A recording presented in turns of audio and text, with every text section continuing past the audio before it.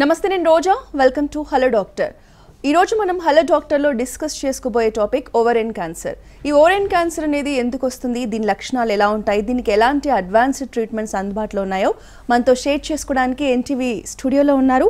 Renova century hospitals chief consultant surgical oncologist మరియు robotic and హైపిక్ surgeon Srinivas Juluri గారు. Hello అండి. Welcome to NTV studio so ఇప్పుడు ఈ ఓవరెన్ క్యాన్సర్ అనేది ఎంత పర్సెంటేజ్ ఉందండి? అండ్ అలాగే దీ- దీన్ని ఎంత సీరియస్గా తీసుకోవాలి? యాక్చువల్గా క్యాన్సర్స్లో ఇది కొంచెం అన్కామన్ క్యాన్సర్ కాకపోతే ఆడవాళ్ళలో వచ్చే క్యాన్సర్స్లో ఇంపార్టెంట్ క్యాన్సర్ ఇది. ఎందుకు అంటే ఈ ద అమౌంట్ ఆఫ్ సఫరింగ్ ఎవరికైతే వస్తుందో వాళ్ళకి సఫరింగ్ కానీ సిమ్టమ్స్ కానీ దాని ప్రొలాంగ్ ట్రీట్మెంట్స్ కానీ ఉంటాయి కాబట్టి దీనికి చాలా ముఖ్యంగా విషయం. ఇంకోటి ఏంటంటే frequency and incidence is growing day by day it's happening more and more commonly అంటే చాలా ఇంక్రీజ్ అవుతున్న క్యాన్సర్స్లో ఒకటి. ఇంకొక ముఖ్యమైన విషయం ఏంటంటే ఒకప్పుడు చాలా బ్లీక్ ఫ్యూచర్గా చూసేవాళ్ళు దీన్ని. సో వైద్యం లేని క్యాన్సర్స్లో ఒకటి ఒక దానిలాగా కన్సిడర్ చేసేవాళ్ళు. అలాంటిది ఇప్పుడు వైద్యం ఉంది క్యూర్ ఉంది. అండ్ వైద్యం మందులు కానీ పద్ధతులు కానీ బాగా పెరిగినాయి. వాటి అవుట్కమ్స్ క్యూర్ రేట్స్ కానీ వాళ్ళ క్వాలిటీ ఆఫ్ లైఫ్ కానీ చాలా ఇంప్రూవ్ అయింది. అందుకు అండాశయ క్యాన్సర్ అనేది ఓవరెన్ క్యాన్సర్ అనేది ముఖ్యమైన విషయం అయిపోయింది. మన ఇండియాలో మన ఇండియన్ భారత దేశంలో almost seven out of one lakh ఉమెన్లోనే వస్తుంది మనకి అది అయితే నంబర్ పెద్దది కాకపోవచ్చు కానీ వీటితో అన్ఫార్చునేట్లీ ఏమవుతుందంటే ఆల్మోస్ట్ యాభై వేల మంది ప్రతి సంవత్సరం ప్రాణాలు కోల్పోతారు ఈ క్యాన్సర్ మూలంగా. So in spite of so many developments ఈ కోల్పోవడానికి కారణం ఏంటి అంటే ఒకటి లేట్గా ప్రజెంట్ అవటము. రెండవది అందుబాటులో వైద్య సౌకర్యాలు లేకపోవటము. సో దాన్ని ఈ ఈ మోడర్న్ డేస్లో ఈ లాస్ట్ ఫైవ్ సిక్స్ ఇయర్స్ నుంచి చాలా ఇంప్రూవ్మెంట్స్ వచ్చినాయి. సో మన ఇండియాలో కానీ ప్రపంచంలో కానీ ఇంప్రూవ్మెంట్స్ ఆఫ్ ట్రీట్మెంట్ అవుట్కమ్స్ చాలా వచ్చినాయి అనమాట కొన్ని డాక్టర్ ఇప్పుడు చాలా వరకు క్యాన్సర్స్ అనేవి ఫైనల్ స్టేజ్లోనే బయటపడడం వల్ల కూడా చాలా మంది వాళ్ళ లైఫ్స్ని మిస్ అవుతున్నారు. సో మరి ఈ ఓరెన్ క్యాన్సర్ అనేది ఫస్ట్ స్టేజెస్లో ఏమైనా బయటపడే అవకాశం ఉందా? సి ఓవరియన్ క్యాన్సర్కి ఏంటంటే ఒక వినూత్నమైన విశేషం ఏంటంటే దాని సిమ్టమ్స్ డైరెక్ట్గా డెఫినెట్గా ఇది ఓవరియన్ క్యాన్సర్ అని చెప్పేట్టుగా రావన్నమాట. చాలా వేగ్ సిమ్టమ్స్ ఉంటాయి. ఇప్పుడు ఆడవాళ్ళలో పుట్టబురం కనిపించటము తేపులు రావటము కాన్స్టిపేషన్ రావటము లేదు అంటే వాళ్ళకి ఆకలి తగ్గటము అరక్కపోవటము ఇలాంటి నాన్ స్పెసిఫిక్ కంప్లైంట్స్ ఉండొచ్చు కాక. కొందరికి జస్ట్ అనిమితో వస్తారు. కొందరేమో వేరే సిమ్టమ్స్ బ్లీడింగ్ ఎక్కువ అవుతుందని వేరే సిమ్టమ్స్తో వస్తారు. వాళ్ళకి ఎప్పుడైతే మనం స్కాన్స్ చేస్తామో స్కాన్స్ చేసినట్టు మనకి అనుమానం అనేది స్టార్ట్ అవుతుంది అనమాట సో ఎవరైతే రెగ్యులర్గా ఫ్రీక్వెంట్గా వాళ్ళ పీరియాడిక్ స్కాన్స్ అంటాం పీరియాడిక్ చెకప్స్ అంటాం స్క్రీనింగ్స్ అంటాం వాటిని చేసుకుంటుంటారో వాళ్ళల్లో తొందరగా గుర్తుపట్టే అవకాశం ఉంటుంది ఇది. అన్ఫార్చునేట్లీ ఇంత మెడికల్ అడ్వాన్స్ వచ్చినప్పటికీ కూడా ఎనభై ఐదు శాతం మంది పేషెంట్స్ మనకి స్టేజ్ త్రీలోనే గుర్తుపడడానికి వీలవుతుంది మనకి. ఒక ఐదు శాతం ఆల్రెడీ స్టేజ్ ఫోర్లో ప్రజెంట్ అవుతారు మనకి. ఒక టెన్ పర్సెంట్ మాత్రం యాక్చువల్గా మనకి అర్లీ స్టేజ్లో స్టేజ్ వన్ టూలో గుర్తుపట్టడానికి వీలవుతున్నాడు దీనికి ముఖ్యమైన కారణం ఏంటంటే సిమ్టమ్స్ అనేవి డెఫినెట్గా లేకపోవటము. రెండవది ఏంటంటే మనకి ఈ ఫ్రీక్వెంట్ ఎగ్జామినేషన్స్ అనేవి కామన్ కాదు. మనం సి సిటీస్లో మనం చూస్తాం. చాలామంది హెల్త్ చెకప్స్ కానీ వెళ్తుంటారు. But once you most of cities చాలా తక్కువ మంది హెల్త్ చెకప్స్ చేయించుకుంటారు. అడ్వకేషన్ ఏంటి అంటే జనరల్ పాపులేషన్లో నలభై దాటిన తర్వాత ప్రతి ఒక్కరు కూడా కూడాను తప్పకుండా ఇయర్లీ ఒక స్కాన్ చేయించుకోవాలనేది ఒకటి అడ్వకేషన్ అనమాట that is an advocation from across the globe మన ప్రపంచంలో ఎక్కడున్నా కరే తప్పకుండా మనుషులు అనేవాళ్ళు ఆడవాళ్ళు తప్పకుండా అయితే చేయించుకోవాల్సింది. Easily detected easily caught easily treated things in early stages అనమాట అంటే మొదటి దశలో రెండో దశలో ఉన్న వాళ్ళకి గుర్తుపట్టడం కొంచెం కష్టమైనా కూడా దాని వైద్యం మాత్రం చాలా సింపుల్గా ఉంటుంది. ప్లస్ క్యూర్ రేట్స్ అంటాం. ఐదేళ్ళ తర్వాత పదేళ్ళ తర్వాత పదిహేనుల తర్వాత జబ్బు లేకుండా ఉండటం అనేది వాళ్ళకి బెటర్గా చేయగలుగుతాం అనమాట ఓకే అండి. అంటే ఇప్పుడు ఫార్టీ ఇయర్స్ తర్వాతే స్కాన్ చేయించుకోవాలంటారా? అంటే ఫార్టీ ఇయర్స్ ముందర మనకి వేరే కారణాలు మనకి చేయించుకోవచ్చు కాక. కంపల్సరీగా చేయించుకోవాలని లేదనమాట ఎందుకు అంటే లైక్ ఇప్పుడు మనం చెప్పాను నేను మీకు seven out of one lakh ఉమెన్లో మనకి ఓవరెన్ క్యాన్సర్ కనబడుతుందని చెప్పాను. ఇలాగే వేరే క్యాన్సర్స్ ఉన్నాయి మనకి. కిడ్నీ క్యాన్సర్స్ కావచ్చు యూట్రైన్ క్యాన్సర్స్ కావచ్చు ఇలాగే మన పేగుల నుంచి క్యాన్సర్స్ కావచ్చు చాలా రకరకాల క్యాన్సర్స్ ఉంటాయి. వాటిలో మనం మాట్లాడుకుంటుంది డిస్కస్ చేసుకుంటుంది ఓవరెన్ క్యాన్సర్ గురించి. సో ఈ నంబర్ తక్కువైనప్పటికీ కూడాను ఏ స్కాన్ అయితే మనం మాట్లాడుతున్నామో ఏ జబ్బులు అయితే క్యాన్సర్ అనే వ్య- వ్య- వ్యాధి ఏదైతే ఉందో యూజువల్ అది వచ్చేది నాలుగో దశకం తర్వాత అనమాట అంటే ఫార్టీ ఇయర్స్ తర్వాత కామన్గా కనబడుతుంటుంది. ఎనభై శాతం మంది క్యాన్సర్లు నాలుగో దశకం తర్వాతే ఉంటాయి. Only twenty percent cancers less than forty ఇయర్స్లో ఉంటాయి. సో మన యావరేజ్ లైఫ్ స్పాన్ మనం లెక్కేసుకుంటే సెవెంటీ ఫైవ్ ఇయర్స్ అని లెక్కేసుకుంటే ఈ నెక్స్ట్ ముప్పై ఐదేళ్ళలో బీసీ ఎయిటీ పర్సెంట్ క్యాన్సర్స్ అంటే మనం ఏదైతే ఒక టెస్ట్ చేస్తామో ఆ టెస్ట్ మూలంగా మనకు మ్యాక్సిమం అవుట్కమ్ మ్యాక్సిమం బెనిఫిట్ వచ్చేది ఎప్పుడు అంటే ఫార్టీ ఇయర్స్ తర్వాత. సిమ్టమ్స్ ఉన్నాయి. పొట్టలో నొప్పిగా ఉంది పొట్ట అసౌకర్యంగా ఉంది వెయిట్ చేయకూడదు స్కాన్ చేయించుకోవాల్సిందే. సో మీరు తప్పకుండా డాక్టర్కి వెళ్ళారనుకోండి డాక్టర్స్ తప్పకుండా స్కాన్ రాస్తారు. సో ఆ స్కాన్ చేసేది కొంచెం జాగ్రత్తగా కొంచెం ఏమంటారు ఫోకస్డ్గా చేసి చూసుకుంటే it's can easily be caught so మంచి మెషిన్ ఒకప్పుడు మెషిన్స్ మంచిగా ఉండే కాదు. ఇప్పుడు చాలా మంచి మెషిన్స్ వస్తున్నాయి. మంచి ట్రైనింగ్స్ డాక్టర్స్ ఒకప్పుడు ఫ్రీక్వెంట్గా దొరికేవాళ్ళు కాదు. ఇప్పుడు ఈ ఇప్పుడు ఏ కార్నర్కైనా వెళ్ళండి కాక. You find very good qualified డాక్టర్స్ను so ఈ పికప్ అనేది పెరిగింది. మరి పికప్ చేయాలంటే పేషెంట్ వెళ్ళాలి కదా. సో పేషెంట్స్ అనేవాళ్ళు సిమ్టమ్స్ని నెగ్లెక్ట్ చేస్తూ నెలల తరబడి వెయిట్ చేయడం కాకుండా వాళ్ళకి సిమ్టమ్స్ ఉన్నప్పుడు కొంచెం నాన్ స్పెసిఫిక్ అయినా కాదు సరే. సరే ఎంతకైనా మంచిది చేయించుకున్న వాళ్ళకి గుర్తుపడడం ఈజీగా ఉంటుంది ఇది. సో ఒకప్పుడు మేము స్టేజ్ వన్ క్యాన్సర్స్ని అసలు చాలా రేర్గా చూసేవాళ్ళం. ఏడాదికి ఒకటి రెండు చూసేవాళ్ళం. లిట్ ఇప్పుడు almost twenty to thirty percent surgeries మేము ఏవైతే చేస్తామో we're doing them in early stages దానికి థ్యాంక్స్ టు ఏంటి అంటే మీరు అంటే కామన్ పబ్లిక్లో ఏముంటుందంటే డాక్టర్ దగ్గరికి వెళ్తే ఏదో జబ్బు పేరు పెడతారు అని చెప్పేసి. బట్ ప్రాబ్లం ఏంటి అంటే జబ్బు పేరు పెట్టాలని కాదు. మనకు అనుమానం ఉన్నప్పుడు తప్పకుండా పెట్టాల్సిందే తప్పకుండా వైద్యం చేయాల్సిందే ఇలాంటి వాటిని గుర్తుపట్టాల్సిందే. రైట్ డాక్టర్ మీతో మాట్లాడడానికి కాలర్ ఉన్నారు. రాజ్ కుమార్ గారు కాల్ చేస్తున్నారు హన్మకొండ నుంచి. హలో ఆ, sir madam good morning madam. Raj Kumar గారు మీ డౌట్ ఏంటో అడగండి. డాక్టర్ గారు ఉన్నారు.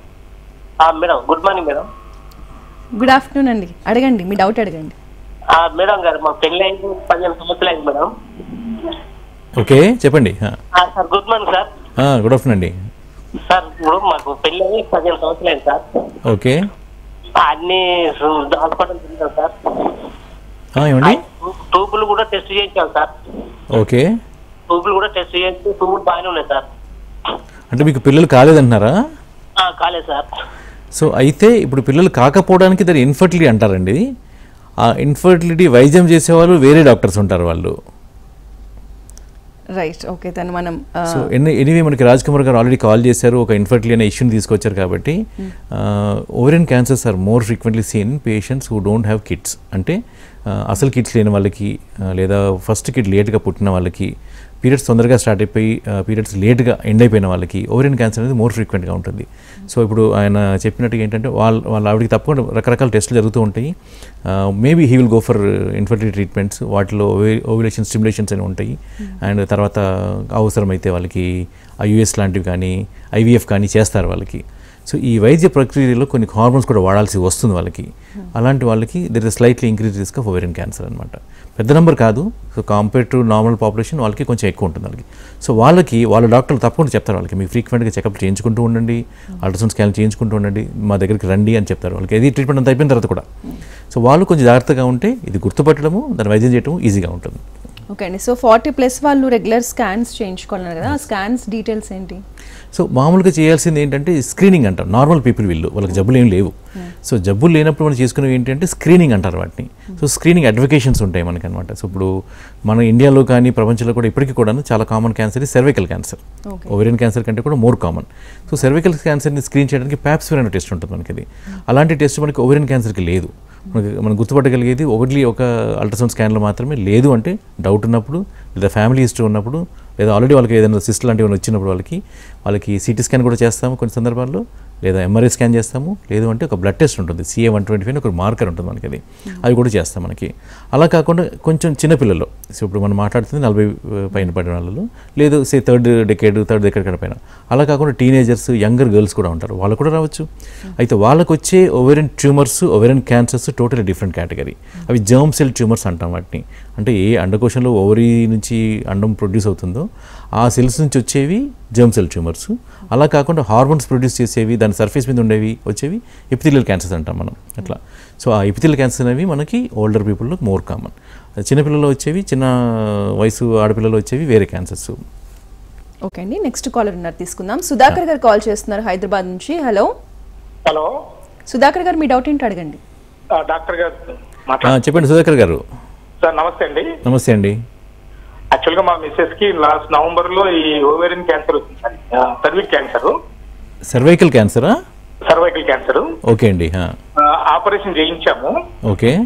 డాక్టర్ గారు అడ్వైజ్ ఏంటంటే రేడియేషన్ ఇప్పించమన్నారు సార్. ఓకే ఆపరేషన్ తర్వాత రెడీ ఇప్పించమన్నారు. రేడియేషన్ ఇప్పించిన తర్వాత కాళ్ళని వాసిపోతున్నాయి సార్. ఓకే. అప్పుడు జబ్బు దశ ఏంటండి మీది? సార్? జబ్బు దశ ఏంటి అప్పుడు? స్టేజ్ ఏమని చెప్పారు అప్పుడు అప్పుడు సెకండ్ స్టేజ్ అన్నారు సార్ యాక్చువల్గా ఓకే యాక్చువల్గా సర్జరీ చేసి ఇది తీసేసారు రిమూవ్ చేశారు గర్భ యూట్రస్ అంతా. కరెక్ట్ కరెక్ట్ ట్యూబ్స్ ఇవన్నీ కూడాను. Okay even though near by ఉన్నటువంటి లింఫ్ నోట్స్ కూడా తీసేశారు సార్. కరెక్ట్ కరెక్ట్ దానివల్ల ఏంటంటే ఇప్పుడు కాళ్ళు ఏమైనా ఇప్పుడు after six months sir actually ఇప్పుడు నవంబర్ సెకండ్ చేయించాము. ఓకే పాదాలు సార్ మోకాల నుంచి ఓకే. చాలా లావు వాసిపోతున్నాయి సార్. ఓకే మీరు ఆపరేషన్ చేయించారు అన్నారు కదా నోట్స్కి డబ్ జబ్బు పాకేదని చెప్పారండి మీకు ఏమన్నా అది చెప్పలేదు కానీ యాక్చువల్గా బిఫోర్ దట్ ముందుగానే జాగ్రత్తగా తీసేస్తామని చెప్పారు. ఓకే సో మీరు ఒక ఇంపార్టెంట్ ఇష్యూని రేజ్ చేశారండి. సో బేసికలీ ఏంటంటే ఇప్పుడు క్యాన్సర్ వైద్యంలో నోట్స్ని డిసెక్ట్ చేయటము నోట్స్ని తీసేయడం అనేది ముఖ్యమైన ప్రక్రియ. సో ఆయన చెప్పింది ఓవెరియన్ క్యాన్సర్ గురించి కాదు సర్వికల్ క్యాన్సర్ గురించి. కాకపోతే ఓవెరియన్ క్యాన్సర్లో కూడా ఎప్పుడైతే నోట్స్ ఇన్వాల్వ్మెంట్ కనుక ఉంటాయో మేము నోట్స్ని తప్పకుండా తీస్తాం. అయితే ఇప్పుడు ఈ ఆయన చెప్పిన ప్రక్రియలో ఒక ఒక అడ్వాన్స్మెంట్ వచ్చింది ఇప్పుడు. అదేంటి అంటే ఫ్లోరోస్కోపిక్ గైడెడ్ సర్జరీ అంటాం దాన్ని. ఓవెరియన్ సెర్వికల్ క్యాన్సర్ ఎప్పుడైతే సర్జరీ చేస్తామో వాళ్ళకి వాళ్ళకి ఒక డై ఇంజెక్ట్ చేస్తాం యూటర్స్ లోపలికి. ఇంజెక్ట్ చేసేసి ఒక స్పెషల్ కెమెరా ఉంటుంది మా దగ్గర. ఆ కెమెరాతో ఆ డై ఏ నోట్స్కి వెళ్తుందో చూస్తాం మనం. ఆ నోట్స్ని ఫస్ట్ నోట్ని మనం పికప్ చేసి టెస్ట్కి పంపిస్తాం. ఫ్రోజన్ సెక్షన్ ఒక టెస్ట్ ఉంటుంది టెక్నిక్ ఉంటుంది అది. ఆ టెక్నిక్ కనుక వాడితే ఆ నోట్ పాజిటివ్ అయితేనే మొత్తం నోట్స్ తీస్తాం లేకపోతే తీయం వాటిని. ఇది ఎందుకు ముఖ్యం అంటే ఎవరికైతే నోట్స్ మొత్తం తీస్తామో అలా తీసిన వాళ్ళలో ఒక పది శాతం మందికి ఆయన చెప్తున్నట్టుగా కాళ్ళకు వాపు వస్తుందన్నమాట. దాన్ని లింఫెడిమ్ అంటాం దాన్ని.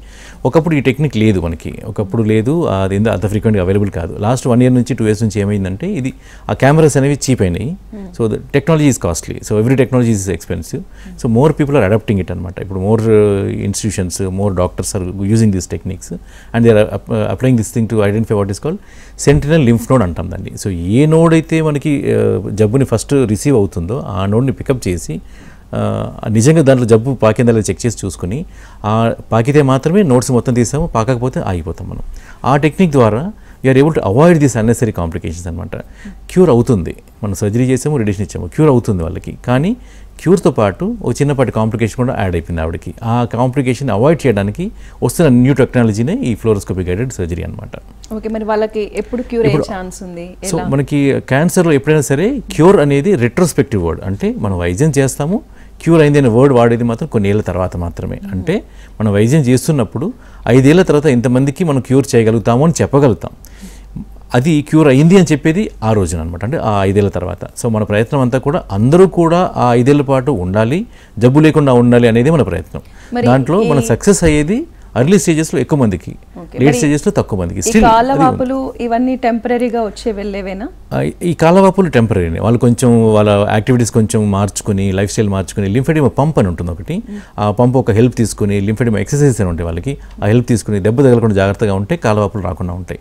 ఒకప్పుడు బోధకాలం వచ్చేది. సో ఫైలేరిస్ అనేది. Now it is almost eradicated very rarely మనకు చూస్తాం దాన్ని గవర్నమెంట్ ఎఫర్ట్స్ మనకు దాన్ని బాగా తగ్గించగలిగారు.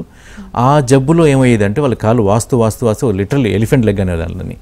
అంత అంత లావ్ అయిపోయేది అనమాట సో వీళ్ళకి వదిలేస్తే క్యూర్ ఇప్పుడు క్యూర్ అయిపోయారు ఆవిడ. సో ఇన్ ద సెన్స్ జబ్బు లేదు ఆవిడకి. In the sense now we're looking at possible cure in very big number stage two అంటే సర్జరీ తర్వాత రేడియేషన్ ఇచ్చారు కాబట్టి వాళ్ళకి క్యూర్ అయ్యే అవకాశం చాలా బాగున్నట్లు లెక్క. కాకపోతే ఈ కాంప్లికేషన్ అనే దాన్ని జాగ్రత్తగా పట్టుకుని చూసుకుంటే ఆవిడకి తర్వాత కాంప్లికేషన్ కాకుండా పెరగకుండా కాలువాపులు రాకుండా చూసుకోవచ్చు అనమాట అది జాగ్రత్త పడాల్సిన విషయం అది అది ఫిజియోథెరపీ వాళ్ళు మేము మా టీమ్స్ లింఫెడిమా పంప్ అని ఉంటుంది ఒకటి. దాని అప్లికేషన్ నేర్పించి పేషెంట్కి నేర్పించి వాళ్ళు ఎక్కువ కాకుండా చూసుకుంటాం దాన్ని. మీరు వాళ్ళకి ఇచ్చే సజెషన్ ఏంటండి మీరు? సో మీరు ఒకసారి పేషెంట్ తీసుకుని వస్తే మేము చెక్ చేసి చూసేది ఏంటంటే టూ థింగ్స్ ఉంటాయి. డీవీటీ అంటాం. క్యాన్సర్ వైద్యం అయిపోయిన ఆడవాళ్ళలో డీప్ వెయిన్ థ్రాంబోసిస్ అనే కండిషన్ డెవలప్ కావచ్చు. డీప్ వెయిన్ థ్రాంబోసిస్ వస్తే కొంచెం డెడ్లీ అది. క్రానిక్ డీవీటీ అంటాం దాన్ని. అది కూడా ఉండొచ్చు. దానికి వైద్యం చేసేసి దాన్ని ఆపుకోవచ్చు దాన్ని. వాపులు ఆగిపోతాయి వాళ్ళకి. సెకండ్ కండిషన్ ఇస్ లింఫెడిమా అనమాట లింఫెడిమా అనేది లింఫాటిక్ ఫ్లో మూలంగా వాటర్ అనేది అక్యుములేట్ అవుతూ ఉంటుంది వాళ్ళకి. ఆ వాటర్ని మనం జాగ్రత్తగా పిండేసేసి దాన్ని పంపించేస్తాం దాన్ని. దాన్ని లింఫెడిమా పంప్ అంటాం దాన్ని. అది సిస్టమేటిక్ మన బాడీలో ఎలాగైతే యాక్షన్ ఉంటుందో కంటిన్యూస్ ప్రెషర్ ఉండదు. ఇంటర్మీడియట్గా ఇంటర్మీడియట్గా ప్రెషర్ వస్తూ ఉంటుంది అనమాట అది కూడా గ్రేడెడ్ ప్రెషర్ అంటే. కింద నుంచి స్టార్ట్ అయ్యి పైకి వెళ్తూ ఉంటుంది ప్రెషర్ అలాంటి యాక్టివిటీని క్రియేట్ చేసి ఒక ఒకలాంటి మసాజ్ అనుకోండి. అది క్రియేట్ చేసేసి వాళ్ళకి ఆ లింఫెడిమా అనేది తగ్గించగలుగుతాం అనేది ఒక్కసారి క్రానిక్ లింఫెడిమా స్టార్ట్ అయిపోయిందంటే ఫైబ్రోసిస్ స్టార్ట్ అవుతుంది. అది అది చాలా సౌకర్యంగా ఉంటుంది కాలు బరువుగా ఉంటుంది నడవడం కష్టం అవుతుంది. అది కాకముందే జాగ్రత్త పడవచ్చు మీరు చాలా ఎర్లీగా రిపోర్ట్ చేశారు చాలా ఎర్లీగా గుర్తుపట్టారు. So that's a good news మనకి. So it can be intervened it can be completely stop from so doctor అయితే మరి ఈ ఓరెన్ క్యాన్సర్లో ఏ స్టేజ్లో ఎలాంటి ట్రీట్మెంట్స్ అందుబాటులో ఉన్నాయి? యా సో ఈ ఒవేరియన్ క్యాన్సర్ అనేది ఏ దశలో అయినా కూడా ముఖ్యమైన వైద్యం అనేది సర్జరీ అనమాట సో దానికి ఒక పేరుంది సైటోడెక్టివ్ సర్జరీ అంటారు. అంటే క్యాన్సర్ కణాలని తగ్గిస్తున్నాం మనం. అది ఒక పార్ట్. రెండవ పార్ట్ నెక్స్ట్ ముఖ్యమైన పార్ట్ ఏంటంటే కీమోథెరపీ ఉంటుంది వాళ్ళకి. సో ఈ కాంబినేషన్ అనేది almost eighty five to ninety five పర్సెంట్కి మనం ఇస్తాం వాళ్ళకి. ఒక ఒక్క స్టేజ్ వన్ క్యాన్సర్స్ అది కూడా లో గ్రేడ్ క్యాన్సర్స్కి మాత్రమే మనము ఓన్లీ సర్జరీ ద్వారా క్యూర్ చేయొచ్చు. ఇది ఒకటే కాకుండా ఇంకొక టైప్ ఉంటుంది అనమాట ఈ బోర్డర్లైన్ ట్యూమర్స్ అని అంటాం వాటిని. అవి గొప్పగా కీమోథెరపీకి రెస్పాండ్ కావు. సో వాటిలో ముఖ్యమైన వైద్యము సర్జరీ ఉంటుంది వాళ్ళకి. సో ఈ టెక్నీ టెక్నిక్ ఆఫ్ సర్జరీ అనేది కొంచెం యూనిక్గా ఉంటుంది ఓవరియన్ క్యాన్సర్స్కి ఈ ఓవరీ క్యాన్సర్లో ఏంటంటే ఒక ఫీచర్ ఏంటంటే ఒక సెల్స్ అనేవి పొట్ట మొత్తం కూడా స్ప్రెడ్ అవుతాయి. సో మన విసుగను ఒక రూమ్లో చల్లేసేట్లాగా ఎక్కడైనా పడవచ్చు కాబట్టి అలాగే ఈ క్యాన్సర్ కణాలు కూడా పొట్ట లోపల ఉదరం పొట్ట లోపల ఏదైతే ఉంటే వివిధ ఆర్గన్స్ పైన అది స్పిల్ అవ్వచ్చు. అయితే కామన్గా ప్రిఫరెన్షియల్ ఆర్గన్స్ ఆఫ్ స్ప్రెడ్ అంటాం వాటి అవి ఉంటాయి అనమాట ఒమెంటే మనకు కొవ్వు పొర ఉంటుంది అందరికీ కూడాను. ఆ పొర లోపలికి పొర పైనకి కూడా పేగుల పైన లివర్ పైన స్ప్లీన్ పైన ఇలా ఎక్కువగా డిపాజిట్ అవుతుంటాయి. హైయెస్ట్ అమౌంట్ ఆఫ్ డిసీజ్ అంటాం క్వాంటమ్ ఆఫ్ డిసీజ్ అంటాం. అది పెల్విస్ లోపల అనగా కింది కింది పొట్టలో కింది పొజిషన్లో మాత్రమే ఉంటుంది అనమాట సో ఎవరికైతే ఎక్స్టెంట్ని బట్టి వాళ్ళకి అంత ఎక్స్టెంట్స్ సర్జరీ చేయాల్సిందే తీసేయాల్సిందే. సో వాళ్ళకి ఓవర్ సర్జరీ చేసినప్పుడు యూటర్స్ తీసేస్తాము ఓవరీస్ తీసేస్తాము నోట్స్కి స్ప్రెడ్ ఉంటే నోట్స్ కూడా తీసేస్తాము. దాంతోపాటు ఒమెంటెక్టమీ అంటాం దాన్ని. ఒమెంటెక్టమీ తీస్తాము. పెరిటోనియం అనేది ఒక లైనింగ్ అనమాట పొట్టలో ఉన్న ప్రతి ఆర్గన్ చుట్టూ కూడా ఉండేది పెరిటోనియం. ఆ పెరిటోనియంని ఎంత వీలైతే అంతవరకు జబ్బుతో సహా తీసేస్తాం దాన్ని. అలాగే జబ్బుల పోర్షన్స్ తెలియని పోర్షన్స్ వాటిని కోయాగులేట్ చేస్తాం వాటిని. మనకి ఎలక్ట్రో సర్జికల్ టెక్నిక్ ద్వారా వాటిని డిస్ట్రాయ్ చేస్తాం. ఇది సర్జికల్ టెక్నిక్ అనమాట సో కొన్ని సందర్భాల్లో ఎవరికైతే ఎక్స్టెన్సివ్ డిసీజ్ ఉంటుందో వాళ్ళకి ఇంటర్వెల్ సైటోడక్షన్ అంటాం దాన్ని ముందు కీమోథెరపీ ఇచ్చి తర్వాత ఆపరేషన్ చేస్తాం. ఈ ఆపరేషన్ టైంలో కొందరికి యంగర్ పీపుల్కి ఎక్స్టెన్సివ్ డిసీజ్ ఉన్న వాళ్ళకి గుడ్ రెస్పాన్స్ ఉన్న వాళ్ళకి ఇంటర్వెల్ సైటోడక్షన్ సైటోడక్షన్ అనే సర్జరీతో పాటు we use what is called హైపెక్ నువ్వు కీమోథెరపీ ఇచ్చాము మూడు సైకిల్స్ ఆపరేషన్కి తీసుకున్నాము ఆ టైంలోనే వాళ్ళకి సర్జరీ అయిపోయిన తర్వాత మెజారిటీ ఆఫ్ ద ట్యూమర్ని తీసేసిన తర్వాత మైక్రోస్కోపిక్ జబ్బు ఉన్న టైంలో ఆ మైక్రోస్కోపిక్ జబ్బును కూడా డిస్ట్రాయ్ చేయడానికి మేము చేసే టెక్నికే హైపెక్ అంటాం దాన్ని. So hyperthermic intraperitoneal chemotherapy high టెంపరేచర్లో కీమోథెరపీని పొట్ట లోపల రన్ చేస్తాం మనం. అయితే దానికి ఒక లిమిటేషన్ ఉంది. అది ఒక త్రీ మిల్లీమీటర్స్ కంటే ఎక్కువ డెప్త్ వరకు పెనిట్రేట్ కాదు. అడ్వాంటేజ్ ఏంటంటే ఆ సైడ్ ఎఫెక్ట్ ఉన్న వాళ్ళకి ఎందుకంటే ఎక్కువ పెనిట్రేట్ కాదు కాబట్టి. But at the same time concentration మనం రక్తం ద్వారా ఇచ్చే కాన్సన్ట్రేషన్ కంటే కూడా ఒక వంద నుంచి వెయ్యి రెట్లు ఎక్కువ కాన్సన్ట్రేషన్ పొట్ట లోపల ఉంటుంది వాళ్ళకి. సో అక్కడ క్యాన్సర్ కనుక కనుక ఉంటే వాడిని కంప్లీట్గా డిశ్చార్జ్ చేసే అవకాశం మనకి వస్తుంది మనకి. సో బికాజ్ ఆ టూ టు త్రీ మిలీమీటర్స్ కంటే ఎక్కువ డెప్త్ వరకు స్ప్రెడ్ అవ్వదు కాబట్టి సర్జరీలో మొత్తం తీయడం అనేది చాలా ముఖ్యమైన విషయం. కళ్ళకు కనపడుతుంది చేతి తగులుతుంది దాన్ని మొత్తాన్ని కూడా తీసేయాలి. ఆ టెక్నిక్ టైం టేకింగ్ ప్రాసెస్ కొంచెం రిస్కీ కూడాను. సో అందుకే దానికి ట్రైనింగ్ ఉంటుంది స్పెషల్ ట్రైనింగ్ ఉంటుంది ఆ స్పెషల్ టెక్నిక్స్ ఉంటాయి స్పెషల్ ఎక్విప్మెంట్ ఉంటుంది. అవన్నీ వాడి మనం చేస్తాం. చేసిన తర్వాత కన్సల్టేషన్ అంటే దాన్ని మళ్ళీ మళ్ళీ రాకుండా ఉండడం కోసం చేసే టెక్నికే హైపెక్ అనే థెరపీ ఒకప్పుడు హైపెక్ అనేది ఓవెరియన్ క్యాన్సర్ వాడేవాళ్ళం కాదు మేము. వేరే జబ్బులో వాడేవాళ్ళం. తర్వాత అర్థం చేసుకుంది ఏంటంటే ఎవరికైతే తిరిగి వస్తుందో ఎవరికైతే ఎక్స్టెన్సివ్ డిసీజ్ ఉంటుందో వాళ్ళకి హైపెక్ని యాడ్ చేయడం మూలంగా we are able to increase the survivals అంటే మనం క్యూర్ని పెంచగలుగుతున్నాం. So average number of months లెక్కేస్తాం యూజువల్గా సో స్టై త్రీ సి ఎవరైతే కామన్గా ప్రజెంట్ అవుతారు వాళ్ళకి వితౌట్ హైపెక్ థర్టీ నైన్ మంత్స్ కనుక సర్వేలు ఉంటే విత్ హైపెక్ ఫిఫ్టీ ఫోర్ మంత్స్ దాకా సర్వేలు ఉంటుంది. యావరేజ్ నెంబర్స్ ఇవన్నీ కూడా సో అలాగా వాళ్ళకి కెమోథెరపీ యాడ్ చేసేసి ఆ నెంబర్స్ని పెంచుకుంటూ పోవటము క్యూర్ రేట్స్ని పెంచుకోవడం అనేది జరుగుతుంది ఇప్పుడు. ఒకప్పుడు భయం ఏముండేది అంటే ఇలాంటి ఎక్స్టెన్సివ్ సర్జరీస్ చేసి ఎక్స్టెన్సివ్ కెమోథెరపీస్ చేసి సైడ్ ఎఫెక్ట్స్ ఉంటాయి కాంప్లికేషన్స్ ఉంటాయి మార్టాలిటీ అనగా మరణాలు సంభవించవచ్చు అనే భయం ఉండేది. But recent trials multiple trials వచ్చినప్పుడు మనకు డచ్ ట్రయల్ కానీ ఈ మల్టిపుల్ యూరోపియన్ ట్రయల్స్ ఏవైతే ప్రూవ్ చేసినాయి ఇండియన్ ట్రయల్స్ కూడా ఉన్నాయి మనకి. సో ఇవన్నీ కూడా ప్రూవ్ చేసింది ఏంటంటే కాంప్లికేషన్ రేట్స్ గొప్పగా పెరగట్లేదు. But at the same time we are seeing more and more people with control disease so దాని మూలంగా we are able to offer it to more women now ఒకప్పుడు ఎప్పుడో ఒకప్పుడు చేసే హైపెక్ని ఇప్పుడు ఫ్రీక్వెంట్గా చేయగలుగుతున్నాం అనమాట టెక్నిక్ కూడా పెరిగింది ఎక్విప్మెంట్ బెటర్ అయిపోయింది మానిటరింగ్ అంటాం. పేషెంట్ని మానిటర్ చేయాల్సి ఉంటుంది వాళ్ళకి. సో హైపెక్లో ఒక పార్ట్ కీమోథెరపీ రన్ చేయడం అయితే సెకండ్ పార్ట్ ఏంటంటే హైపర్ థర్మియా అంటే టెంపరేచర్ కూడా పెంచుతాం వాళ్ళకి. వాళ్ళ హైపెక్ అనే మందుని ఫార్టీ త్రీ డిగ్రీ సెంటిగ్రేడ్లో మనం రన్ చేస్తాం లోపల. It's almost like creating high fever so అలాంటి హై ఫీవర్ ఉన్న పేషెంట్ని ఎలా అయితే మానిటర్ చేస్తామో స్ట్రిక్ట్ మానిటరింగ్ చేయాల్సి ఉంటుంది. అలాగే వాళ్ళకి ఆర్గన్ డ్యామేజ్ కాకుండా టెక్నిక్ మూలంగా ఆపరేషన్ మూలంగా ఈ మందు మూలంగా ఆర్గన్ డ్యామేజ్ కాకుండా మానిటర్ చేయడం అనేది కూడా ఉంటుంది అది సో దానికి స్పెషలిస్ట్ ట్రైన్డ్ అనస్థిషియా వాళ్ళు ఉంటారు మాకు డాక్టర్స్ ఉంటారు వాళ్ళు. వాళ్ళు మానిటర్ చేస్తూ ఉంటారు. We work as a team so as a team we do the whole procedure we monitor them and they are kept in the ICUs for monitoring and then once they recover వాళ్ళని discharge చేస్తాం. So ఈ process అంతా కూడా it's a team work that is how we're able to achieve better cure rates at the same time మన complication తగ్గించుకుంటూ రాగలుగుతున్నాం అనమాట okay so ovarian క్యాన్సర్లో థర్డ్ అండ్ ఫోర్త్ స్టేజ్లో వచ్చే పేషెంట్స్ లైఫ్ స్పాన్ అనేది ఎంతవరకు తగ్గే అవకాశం ఉంది? అండ్ మీరు ఇచ్చే ట్రీట్మెంట్స్ ద్వారా ఎంతవరకు పెరిగే అవకాశం ఉంది? యా. సో ఇప్పుడు స్టేజ్ ఫోర్ అనేది మనము క్యూర్ అనే వర్డ్ కానీ వాడడం దాంట్లో. So I only talk about average life spans. Without treatment stage ఫోర్లో ఉన్న వాళ్ళు ఇట్స్ హార్డ్లీ ఫ్యూ మంత్స్. అలాంటిది now days we have got medicines which will reduce their suffering which will reduce amount of disease ఇప్పుడు tumour మూలంగా suffering so tumour తగ్గిస్తున్నాము so suffering తగ్గుతుంది వాళ్ళకి. వాళ్ళకి ఎవరి కొందరికి పేగులు అంటుకుపోవడం మూలంగా బ్లాక్ అయిపోతాయి వాళ్ళకి మేము సర్జరీ చేసి రిలీవ్ చేస్తాము. అలా మల్టిపుల్ ప్రొసీజర్స్ మూలంగా we are able to extend the life spans to years altogether at the same time కొత్త మాలిక్యూల్స్ కూడా వచ్చినాయి మాకు. ఇప్పుడు బయోసిజమేబ్ అని ఒక మాలిక్యూల్ ఉంటుంది అది. సో ఆ మాలిక్యూల్ ఏంటంటే ట్యూమర్కి వచ్చే రక్త సరఫరాని డిస్ట్రాయ్ చేస్తుంది అలాగే పెంబ్రోజిలిమేబ్ అని ఒక మాలిక్యూల్ ఉంది అది. సో ఇది ఇమ్యూనోథెరపీస్ టార్గెట్ థెరపీస్ ఈ రెండింటిని కూడా యాడ్ చేసేసి ఇప్పుడు బ్రాకా మ్యూటేషన్ ఒకటి ఉంటుంది అది. ఆ మ్యూటేషన్ ఉన్న వాళ్ళకి పార్ప్ ఇన్హిబిటర్స్ అనే ఒక మాలిక్యులర్ క్లాస్ ఉంది వాటికి. ఆ క్లాస్ని యాడ్ చేయడం మూలంగా. We are now able to kind of look at years together so ఒక లైన్ ఆఫ్ థెరపీ కనుక ఫెయిల్ అవుతే second line of therapy second line of therapy fail అయితే third line of therapy ఇవ్వగలుగుతున్నాం.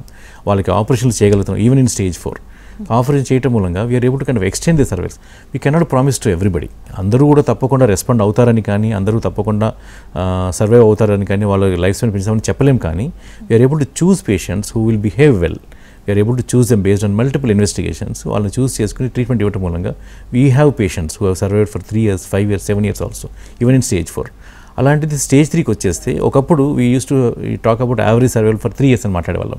Now we are talking about five years very soon will be talking about seven years and ten years అవి average numbers but we have patients who have survive for more than two decades three decades also వాళ్ళకి ఎలాగా అంటే ఒకటి meticulous treatment planning meticulous execution and meticulous follow ups ఈ జబ్బులో ఒక uh, విశేషం ఏంటి అంటే ఎంత కష్టపడి ఇంత ఆపరేషన్ చేసినా కూడా కొందరిలో తిరిగి వస్తుంది.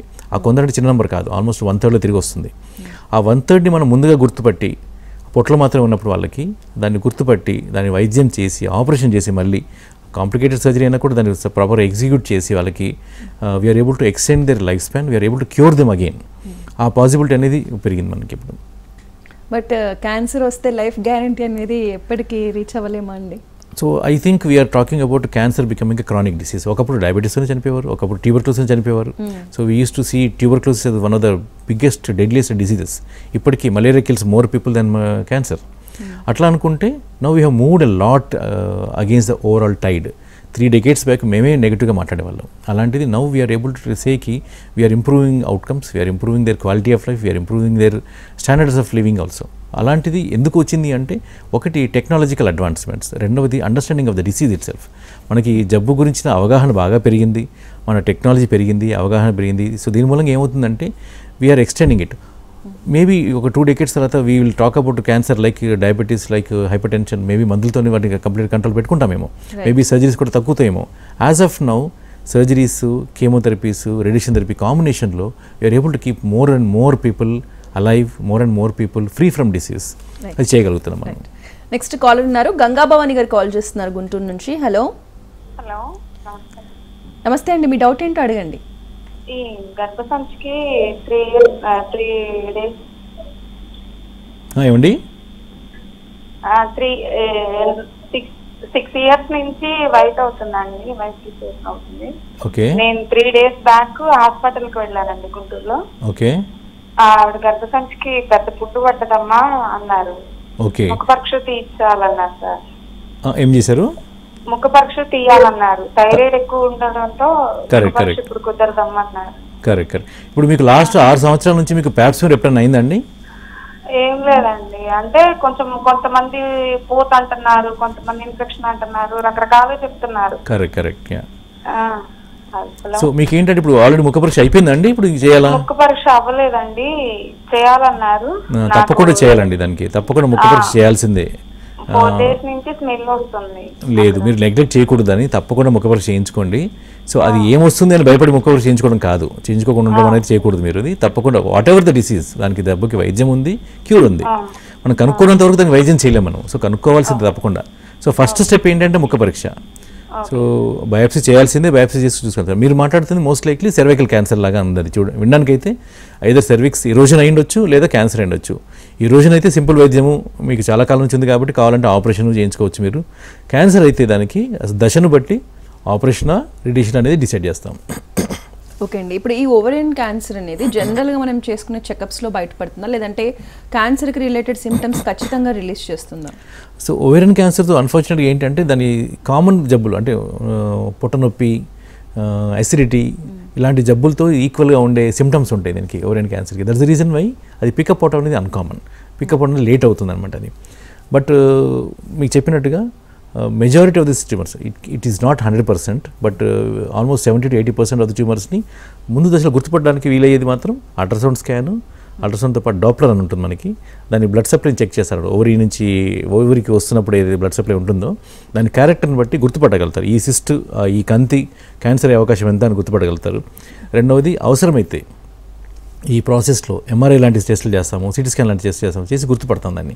సో ఇలా గుర్తుపట్టడం ద్వారా వాటిని we can treat them and we can cure them so ఈ స్క్రీనింగ్ అనేది కామన్లీ నాట్ అడ్వకేటెడ్ దీనికి. But as we age we do develop these things కాబట్టి దాంతో చేసుకుంటాం.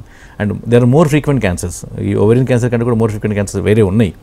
సో వాటితో కంపేర్ చేసి తక్కువ ఇన్సిడెంట్సే ఒకటి ఏంటి అంటే ఓవరియన్ క్యాన్సర్ ఒక్కసారి దశ మారిన తర్వాత సఫరింగ్ ఎక్కువగా ఉంటుంది కాబట్టి ప్రాపర్గా ప్లాన్ చేసుకుని వైద్యం ఎగ్జిక్యూట్ చేసుకుంటే వాళ్ళ సఫరింగ్ తగ్గించుకోవచ్చు అండ్ క్యూర్ రేట్స్ని పెంచుకోవచ్చు మనకి.